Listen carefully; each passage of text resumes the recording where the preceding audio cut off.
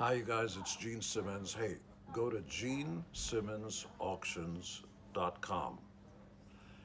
In there, you'll find my personal stuff that I've collected over 50 years lyrics, artwork, collectible items that go way back to the beginning all the way to today that you won't find anywhere else. From my personal collection to you, if you want it, go to genesimmonsauctions.com. Thanks, you guys.